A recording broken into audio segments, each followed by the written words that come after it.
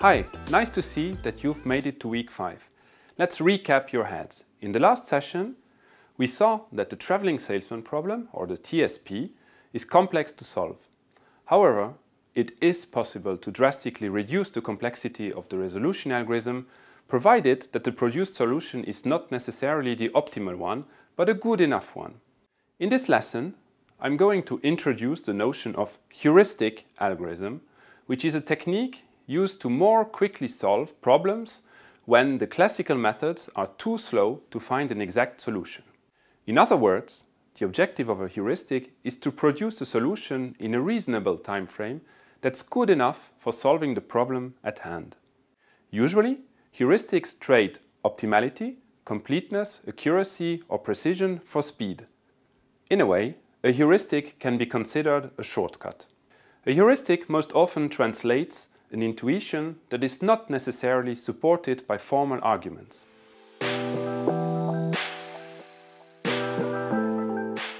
By now, you should be familiar with several graph traversal algorithms such as the BFS or DFS, the result of which is to obtain a tree covering a graph from a given vertex.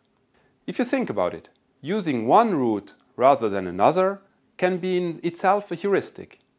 For example, consider the following problem. From a Wikipedia page, for example, the Wikipedia page on the travelling salesman problem, we want to arrive at another Wikipedia page.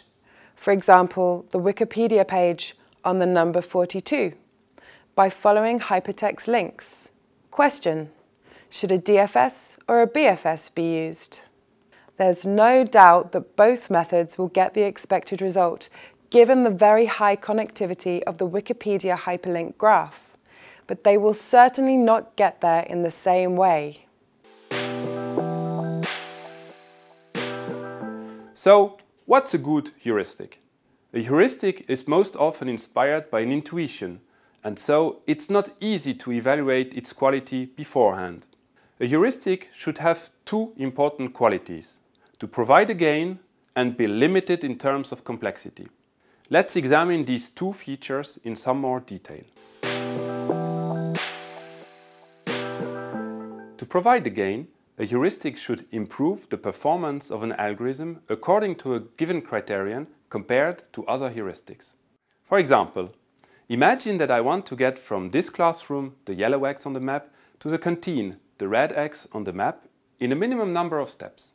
One possible heuristic to get there is to move in what I know to be the general direction of the canteen, ignoring the presence of walls or obstacles. This heuristic is probably going to have a generally better outcome than if I use a random orientation. But in some cases, I might find myself at a dead end, in which case the heuristic does not provide a gain and even worse, does not provide a solution. With regards to the limited complexity characteristic, if using heuristics is as costly as exploring all the possibilities, then there's no point. You might as well not use it. Using the same example of me finding my way from this classroom to the canteen, let's assume that to find my way, I have to explore all possible paths and count the number of steps for each of them.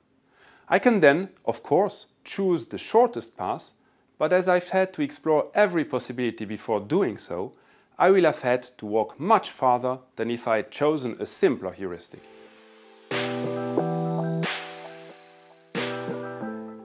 To assess the quality of a heuristic, it's generally easier to perform this evaluation ex post.